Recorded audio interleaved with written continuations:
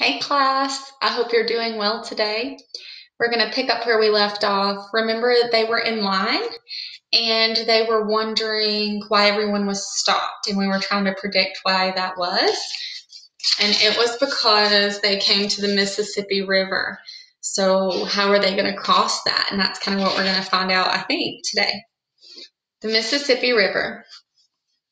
Soft Rain ran too, and was breathless by the time she caught up with her brother. They were nearly at the front of the line. Hawk Boy was talking to a chief, a familiar looking chief. Smiling, the chief said, Soft rain. You were eating warm bread in the barn when I saw you last. It is good to see you. Well, who is this young man? Hawk Boy, my brother, Hawk Boy, she stammered. You found your father? the chief asked. We found her, Hawk Boy boasted, straightening his shoulders, and I found her doll. Soft Rain nodded. What is happening? she asked. We are at the Mississippi River. It's wide and there's too much ice for us to cross, the chief answered. Can't we walk over the ice? Hawkboy asked. No, there's too much ice for the ferries and not enough for the heavy wagons and animals, the chief explained. Others are here ahead of us, and more will certainly come before any group can cross. I fear our wagons and tents are a little protection from the chilling winds. I was on my way to tell your leaders of our situation. Our father is a leader, but he's out looking for game, Soft Rain said. I will tell him when he returns. Tell him the leaders will meet to decide how far from each other to camp and where to dig the trenches, and where to bury the dead. Another river, more dead. Soft Rain shivered. Taking her blanket, the chief refolded it and placed it over both children's shoulders. Go to your mother, Soft Rain. Try to get warm. Your lips are turning blue. As they started back, Hawkboy sighed. It will be good to stop. I'm tired of walking. But he was wrong. Stopping was not good. Even though the fires were tended constantly, the cold blasts of wind bit into their skin and blew firebrands onto the tent roofs. Soft rain screamed as two children barely escaped from a burning tent. See, the firebrands, I think, means fire embers off of the fire and landed on it, and it made the other family's tent burn, and they had to run out. For most of each day, the people huddled shivering under blankets. At least Soft Rain's feet were warmer.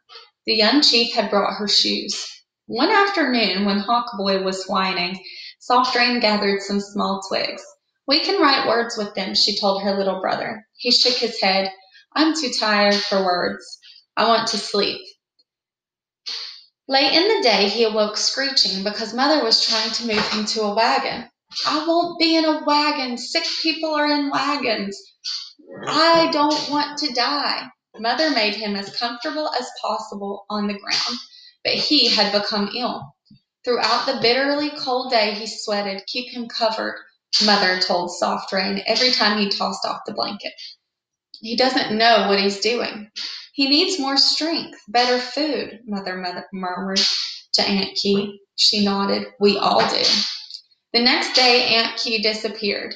Soft Rain went from fire to fire, searching and asking for her. Father rode through the whole camp looking. She wouldn't just wander off to try to go back home the way some people have, Mother said. Frantically searching through Aunt Key's bundle, her basket is gone, but nothing else. Where can she be? Two days later, Aunt Key reappeared carrying a full basket. Her hands were bleeding and her dress was torn. What happened? Soft Rain asked. Aunt Key's eyes closed in exhaustion as she sank to the ground. She explained, I walked far and climbed many fences until I found a farmer's field with some vegetables still in the ground. It isn't stealing if he has left them. With a rock, I dug them up. Now we can make stew, a nourishing, warm meal. When the stew was ready, Soft Rain chewed slowly, savoring each bite. Then she fed Hawk Boy. By morning, he was sitting up asking for more. Later, Father came with important news. The ice is breaking up on the river. One group starts crossing today. Soon we'll move our camp closer to the river to await our turn. By the time they had moved all the way to the river's edge, Hawkboy was well again. For days they watched the groups cross and listened to the boatmen shout at the ice, the fast moving water, and the frightened people. Soft Rain threw the blanket over her head when a great chunk of ice overturned the last group's raft. But she couldn't block out the screams of those who were thrown into the icy river. Hawkboy watched and whimpered. More people have died. I will not be afraid to cross, Soft Rain told herself. Father will be with us. And then Father seemed to be everywhere, helping with the wagons, talking with reluctant people who huddled, waiting and moaning, meeting with other leaders. Hawkboy seized Mother's hand and began crying when it was time to step on the boat. We will all be together, Mother reassured him. Are you going with us, Father? Soft Rain asked, looking into Father's eyes. No. You will go ahead of me. I will see everyone across and be on the last boat. Not the last boat, Soft Rain screamed inside her head. She bit her lip to keep from crying. Wrapping his arms around her, he said, Don't worry. It will be a boat, not a raft. And on the other side, as soon as possible, I will form a hunting party. So you won't see me for a while. Soft Rain didn't cry. She walked onto the boat next to Aunt Key. Close your eyes, she told Hawkboy.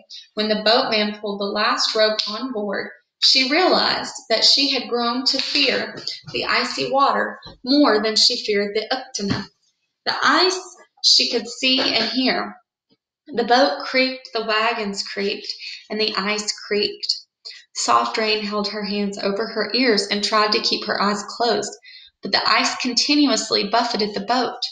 With every lurch, she had to seize the rail to keep from falling or bumping into someone. Hawkboy clung to Mother's hand until they were off the noisy boat. Joining those already on shore, they stood waiting for the next boat to arrive. Was it the last one? Would Father be on it? Soft Rain saw a raft and a boat heading for shore. She lost sight of the boat when she was jostled into the crowd of people who were being led away from the landing to make room for others.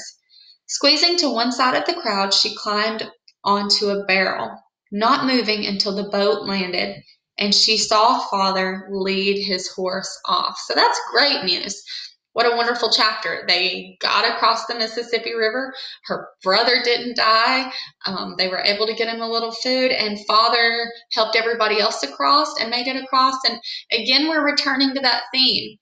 The father could have went on with his family but he chose it was a tragic time he chose to help everyone else instead and so that just reinforces what we've been talking about when things get hard and things are tragic there's still good there there are people that are going to do amazing and wonderful things and you're going to be those people that do those amazing and wonderful things when things are hard for other people um, and so just keeping that in mind, and we'll read the next chapter next time. Bye.